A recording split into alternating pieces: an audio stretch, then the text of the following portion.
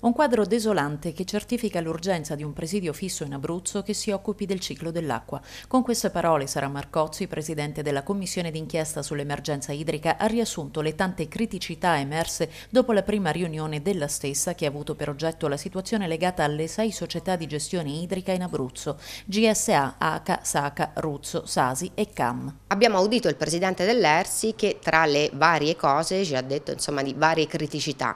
Una delle tante criticità è il fatto che eh, per ottenere i dati contabili dalle sei società di gestione il Presidente dell'ERS è impiegato dopo diversi solleciti, diciamo così, circa sei mesi.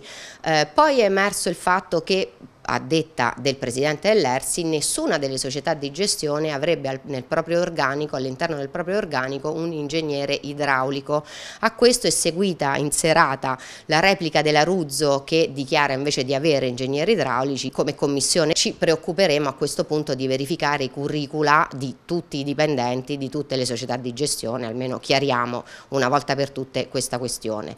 È emerso inoltre che il CAM ha delle serie problematiche ed è a rischio fallimento anche per il costo dell'energia elettrica, insomma tantissimi eh, problemi in una sola seduta. Noi cercheremo in questi sei mesi che ci separano dalla chiusura della commissione di trovare i problemi ma anche cercare di risolverli e magari fornire una due diligence a queste società di gestione in modo tale che eh, il sistema possa essere più efficiente e le tariffe quindi possano essere anche abbassate.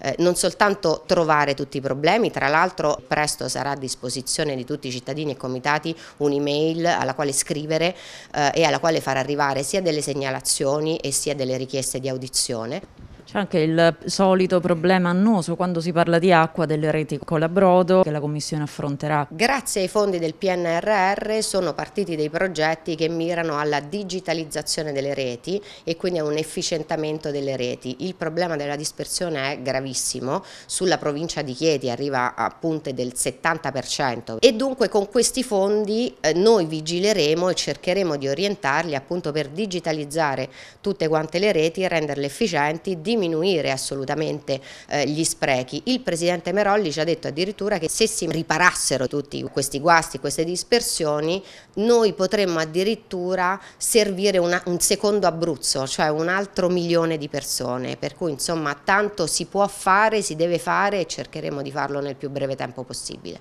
Giovedì prossimo la Commissione d'inchiesta sull'emergenza idrica tornerà a riunirsi per audire l'ingegnere idraulico dell'ERSI e analizzare un report patrimoniale contabile delle sei società abruzzesi di gestione dell'acqua.